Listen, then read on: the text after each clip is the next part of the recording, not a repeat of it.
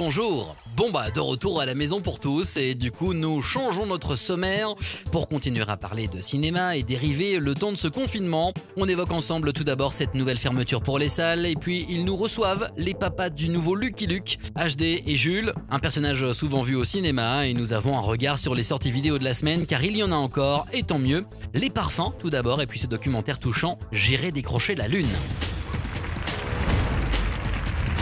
Une seconde fois historique pour les salles de cinéma de France, contraintes de tirer le rideau et de fermer leurs salles aux spectateurs. Je fais le tour des salles, donc pour vérifier qu'il n'y ait plus personne dans le cinéma. Donc sortie de secours, sortie de secours, plus personne, et donc voilà, on fait le tour. Bah écoutez, euh, franchement c'était hyper émouvant ce soir de voir euh, tous ces spectateurs hyper heureux. Euh, ça nous a vraiment fait chaud au cœur. On a eu euh, des larmes, euh, des yeux humides. Officiellement, cela devrait durer le temps du confinement, mais l'industrie espère rapidement reprendre son activité. Des films commencent à être datés. Les Croods 2 chez Universal Pictures est désormais annoncé le 23 décembre, tout comme ce discours très attendu. Des Hommes, le nouveau film de Lucas Belvaux s'est trouvé une nouvelle date au 6 janvier.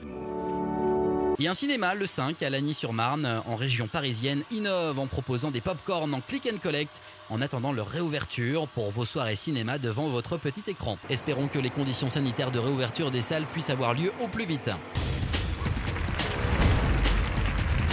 Apparu pour la première fois en 1946, le cowboy le plus sympathique de l'Amérique marque son retour. Le 81e album, Un cowboy dans le coton, est repris par un nouveau duo de dessinateurs et d'auteurs que nous avons rencontrés, HD et Jules. Un cowboy qui, pour cette nouvelle aventure, hérite malgré lui d'une grande plantation de coton et de ses esclaves, ce qui ne le réjouit guère. Depuis euh, quelques années, euh, petit à petit, on re-rentre dans des thèmes qui sont plus actuels, parce que c'est tout à fait normal euh, que une série comme Lucky Luke choisissent des sujets qui sont plus en adéquation avec euh, ce que recherche aussi le lecteur.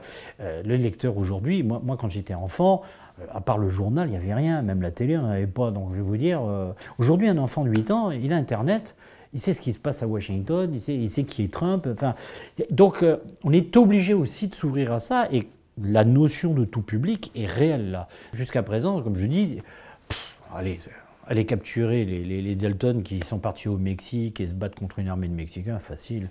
Euh, désarmer Billy the Kid qui terrorise une ville, facile. Euh, remettre euh, au pied un, colonel de, la cavalerie américaine qui, est complètement fou et revanchard et, calmer à lui tout seul une guerre indienne, c'est facile. Mais là, il tombe sur quelque chose qui est très compliqué, qui ne pourra pas résoudre à lui tout seul c'est changer un comportement de toute une population. Une aventure qui prend ses sources dans de nombreux grands films de cinéma. Je me suis inspiré énormément de, du cinéma. Euh, avec HD, on regarde énormément de films sur le sujet dans tous les sens. Évidemment, autant en emporte le vent, il y a des scènes entières hein, qui sont des, décalques quasiment un peu euh, parodiques euh, de, de, ce film mais aussi des films plus difficiles, Mississippi Burning, des films à la gloire du Ku Klux Klan comme La naissance d'une nation hein, de Griffith, mais et puis tous ces films qui se passent dans cette région juste pour l'atmosphère. Il y a un film de Tavernier qui s'appelle Dans la brume électrique, mais je pense aussi évidemment à Django Unchained, qui est la version un peu sadique à la Tarantino de cette histoire de l'esclavage. Les films des frères Cohen, Mud, euh, et évidemment des choses de moi, ma culture populaire d'enfant, par exemple Tom Sawyer. Et il s'agit presque de décors de cinéma mis en image par HD. Je rejoins ce que, ce que m'avait toujours expliqué Maurice. En fait, euh, le Lucky est un pastiche de western. Donc en fait, c'est un pastiche de cinéma.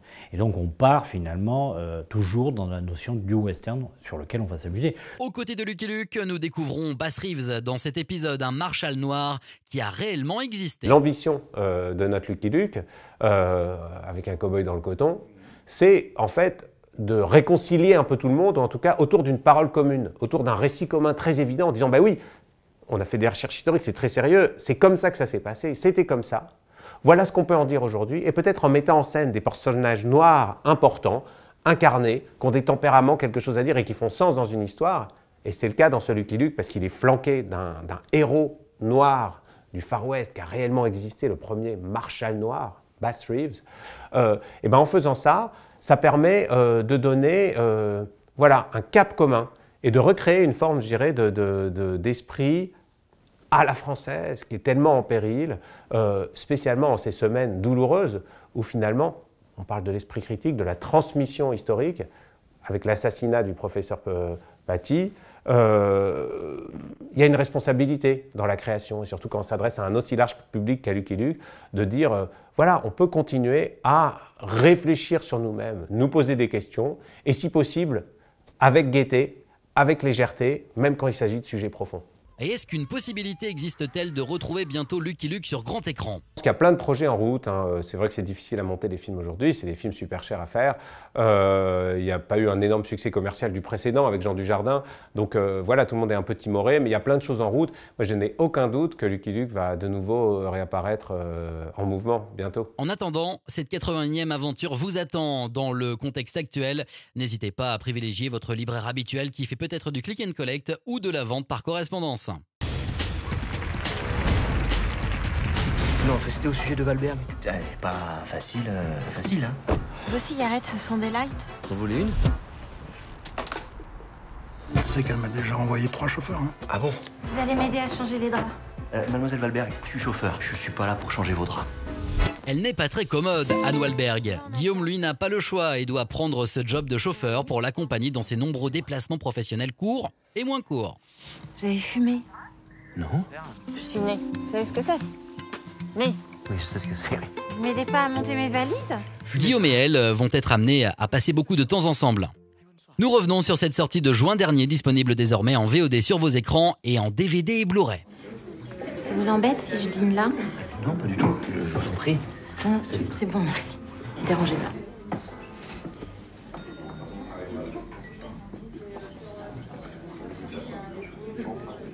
Vous voulez un petit peu de vin? Non, merci. Alcool, fatigue.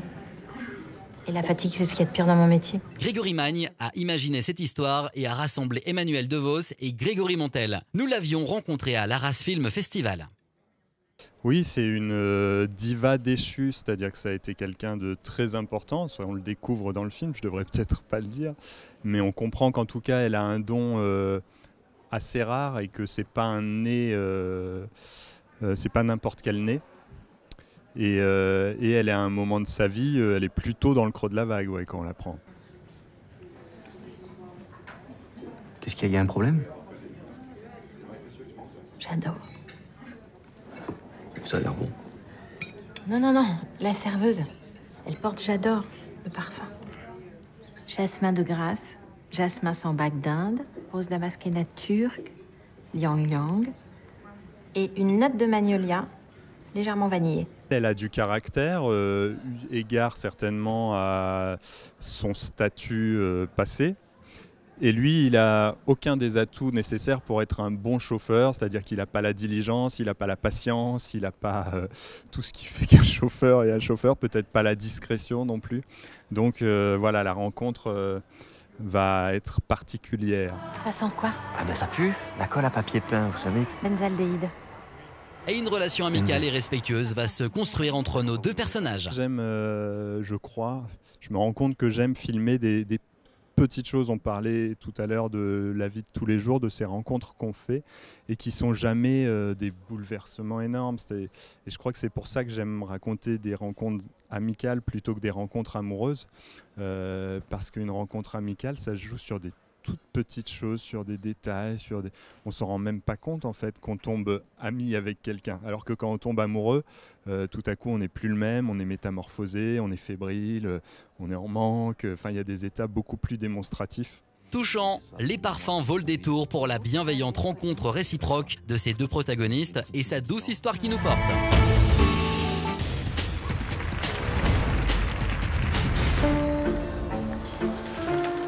Tout commença dans une ville tranquille.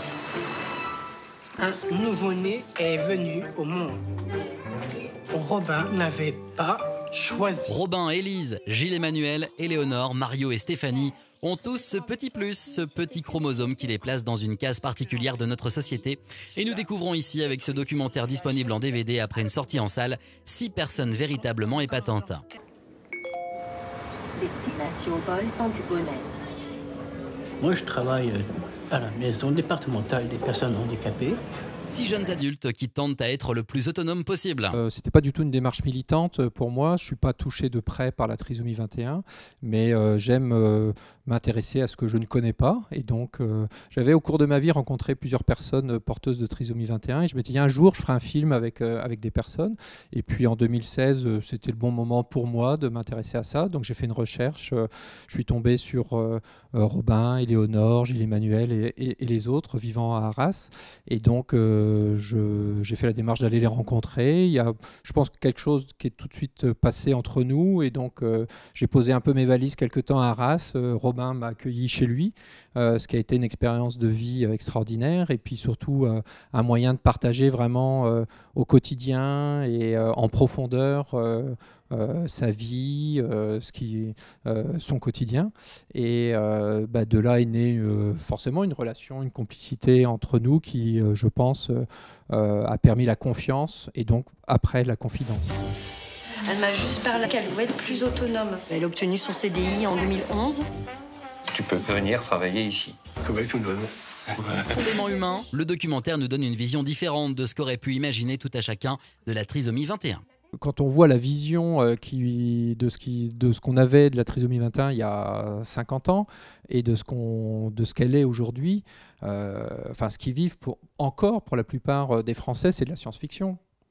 Euh, faut être, euh, nous, euh, enfin ceux qui vivent à Arras, ils se sont habitués à les voir euh, autonomes, vivre en appartement, prendre le bus, euh, se débrouiller, faire leurs courses, avoir un travail en milieu ordinaire. Mais je pense pas que ça soit la vision que l'ensemble de la société française a de la trisomie 21. Il y a encore beaucoup de préjugés, beaucoup de peurs. Il y a des personnes qui, à l'issue du film, ont dit mais je ne savais pas euh, il pouvait avoir des sentiments. Alors ça vous semble peut-être extraordinaire, mais oui, on m'a dit ça. On m'a dit je ne pensais pas qu'il pouvait penser, avoir une opinion. Euh, bon, ben voilà, si ce film peut venir un peu déstabiliser, bousculer et interroger les gens, euh, j'aurais pas perdu mon temps. Pas de problème au travail? Tout va bien. Est-ce que vous vous sentez libre Vous? Euh. Il manque quoi? Apéro. Tout est possible. C'est jamais trop tard. J'aurais mis le feu sur scène. La semaine prochaine, c'est dans les vieux pots qu'on fait les meilleures confitures. Nous reparlerons des Goonies à l'occasion de sa ressortie vidéo. Et nous découvrirons les coulisses de la troisième saison de la série événement The Crow à l'occasion de sa sortie vidéo. I'm a poor lonesome cowboy. J'aurais même pu vous le chanter. La fameuse citation de Lucky Luke qui nous rappelle qu'il n'est qu'un pauvre cowboy solitaire et avec qui nous avons passé du temps avec ses nouveaux pères dans cette émission.